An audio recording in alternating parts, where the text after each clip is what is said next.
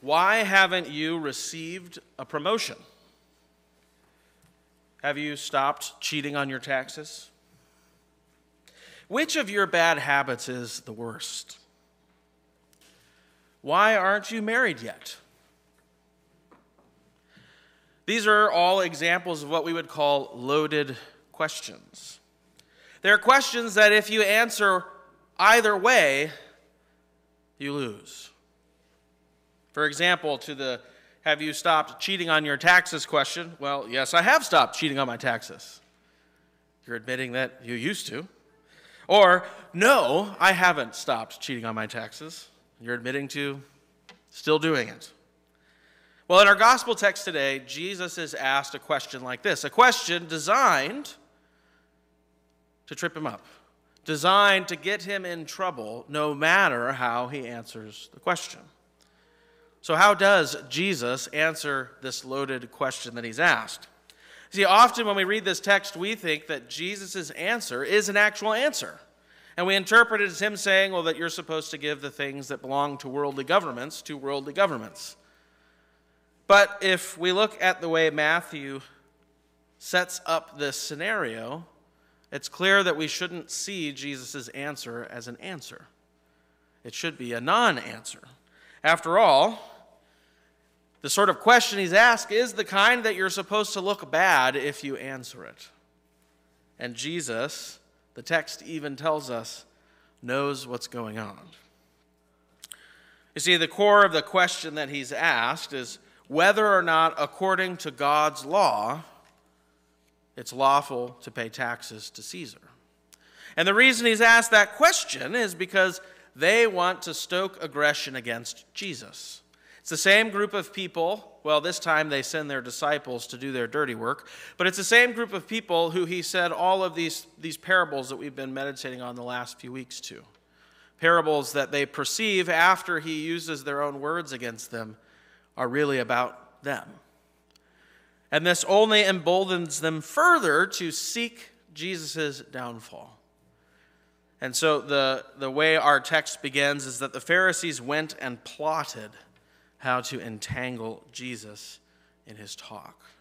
So they've gotten together and they're coming up with a plan to make Jesus look bad. They got to take this guy down. He's becoming too popular. He had that crazy triumphal entry into Jerusalem. We have to get rid of him. And so they ask this question. They ask this question because they know that either way that he answers, he's in hot water with one group or another. You see, if Jesus says, that, yes, the tax is correct, then he's in trouble with all of the Jews, probably some of the ones who are following him who think the tax is against God's law. And the Pharisees can take advantage of that. But if he answers no and sides with that group, then he's in trouble with the Roman authorities who oversee the Jewish people at this time, and the Pharisees can certainly use that too. Either way, Jesus loses. So Matthew sets up this interaction for us so that we can see that what Jesus says is, in fact, not an answer to the question at all. You see, in verse 15, we start out with a plot to entangle Jesus. He tells us what's going on. Verse 16, then we get some vain flattery of Jesus, right? They get there, these disciples, and they say, Teacher, we know that you are true and that you teach the way of God truthfully and that you don't care about anybody's opinion, for you're not swayed by appearances. So, because we know about all of that for you, tell us, right? Then in verse 18, Matthew tells us that Jesus is aware of what's happening, right? It says, But Jesus, aware of their malice, it's another word for their evil intent. He knows why they're asking the question. And then he accuses them. He basically calls them out. He says, Why put me to the test, you hypocrites? So we get a clear picture from Matthew here of what's happening when they ask him this question. And Jesus is not going to get caught in their trap. His response sidesteps the snare that's been laid for him. Not only does he get them to acknowledge a partial answer to their question in their own words by showing them a coin and asking them whose image it bears, but his response doesn't actually answer the core of their question, which is whether or not it's lawful to pay the tax to Caesar according to God's law. Here's his response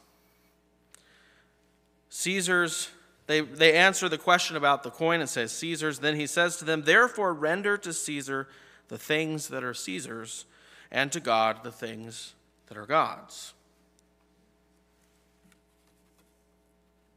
Doesn't really get him pinned into a corner. And if you think about the response for the moment, it doesn't make sense as an answer because what would belong to Caesar that doesn't belong to God?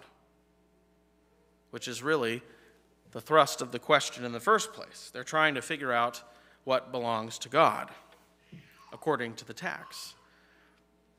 Well, I should say, they weren't trying to figure that out, right? The purpose of the question wasn't to find an answer, but was to trick Jesus. But as Jesus normally does, because if you engage in verbal fisticuffs with the Son of God, you don't usually fare too well, he turns it around on them once again. By the end of his response, when he says, the things that, are, that belong to God should be given to God, he's essentially challenging them again on this same note. You'll recall, recall the parables that we meditated on the people that they are representing and their disciples, they are the people who God has placed his people in the care of. Right? You remember the tenants of the vineyard? And God has sent prophets and now his son to get what belongs to him, namely his people. And what has their response been? Essentially, it's been, well, they belong to us. And we're going to make sure they belong to us. And here again, Jesus needles them with this same truth. You say that all this stuff belongs to God, and yet you won't give to God the things that are His. So, not only does Jesus give them a clever non answer, but He gives them a counterattack, an accusation and a question to ponder in the form of a challenge. And it should be quite clear to them what he's saying because this follows directly on these three interactions they've just had, where each one essentially came down to this truth that God is looking for you what belongs to him, and you're not giving it. So maybe you don't really think they belong to God, but instead they belong to you which of course is epitomized in their altercation with Jesus himself.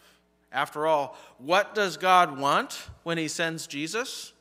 He wants Jesus to go into Jerusalem to bear the condemnation that you and I and every other disciple of God deserves and die in our place. Now, ironically, the Pharisees also want Jesus to die, but for their own ends, because they think that everything that belongs to God belongs to them instead. They don't recognize the Son of God. So, this bears asking the question then what are the things of God? From the context of our reading today, one answer is quite clear Israel. God's people are the things of God. You are Israel. You have been grafted into the chosen people of God through what Jesus is on his way to do. And so this applies to you as well. There are many terms used to describe what Jesus does on the cross, but in the scriptures, one of the more common themes is that you've been purchased, you've been won, you've been redeemed. And the price for that redemption, the price for that purpose is the death of Jesus. You do not belong to yourself or the world, you belong to God. Right? Now, for those of faith, this is wonderful news. In fact, it's one of the core promises of our faith that we cling to in times of sorrow and struggle.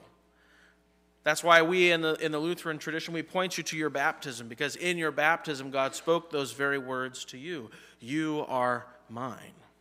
I have bought you with a price. You are mine. What wondrous news that is. Because God has come for you in love to make you his own and to give you eternal gifts the forgiveness of sins and life everlasting. Now, another short and simple answer, which our intro to the service highlighted, is the things that got, are of God, that's everything. There isn't anything that doesn't belong to God. Which is why, when you really think about Jesus' supposed answer, it's not really an answer. Because what belongs to Caesar that doesn't belong to God, first and foremost? So, Jesus here is not making some principled statement about the separation of church and state or how, as Christians, we're supposed to respond to governing authorities in our world, but rather he's pointing to the ultimate authority over all things God. And he's pointing out to his opponents how they're not honoring this reality, that they're trying to claim for themselves something that does not belong to them. But I think this charge from Jesus to the, to the disciples of the Pharisees should prompt some self reflection for us as well. It's worth thinking about the things of God. And we might be tempted, if we put ourselves in the place of the Pharisees, to question Do I render to God the things that are His in my life? And that's certainly a worthwhile thought, but there are some dangers there. Because then you can start to think that your relationship with Jesus depends on whether or not you do the right things. And the gospel's quite clear that's not the case. So, if we really look at this phrase, the things of God, and we understand that it means the people of God, we see that the answer is quite clear. Israel belongs to God. You are part of Israel. So, as a people of his own possession, whom he goes after in love, we are called not to reject his invitation to the wedding feast. We are called not to inhibit his arrival at his own vineyard. As Lutherans, we say that if you are saved, it's by grace and it's entirely in the fault of our Lord and Savior Jesus Christ. But for some reason, we believe, according to the scriptures, that he allows us to turn away, to turn his offer of grace, his offer of love, his offer of forgiveness away. Don't turn away Jesus. Now, you're here this morning because you didn't do that. That by grace, the Holy Spirit created faith in you, and you received the invitation to the wedding feast. You received the garment of the celebration, and you're there. That's why we've gathered here today, our little foretaste of the celebration that is to come for eternity in heaven. So you are a people of his own possession. You do belong to him. You are a thing of God, a beloved child. I was thinking about the words the kids were singing in their song, and they say that God is so big, God is so mighty, there's nothing that our God can't do. And the next line is, Our God is so big, our God is so mighty, there's nothing he can't make new. That's what he did with you. He made you new. He took you from a thing of this world and made you a thing of God's. He bought you with a price, the precious blood of our Lord and Savior, Jesus Christ. So, Jesus, in his carefully considered response to his entrapping opponents, sidesteps their trap and puts to them a challenge, a challenge that we should all consider. But a challenge that brings to light the glorious truth of what Jesus is in Jerusalem to do in the first place. To make you new, to make you a thing that belongs to God.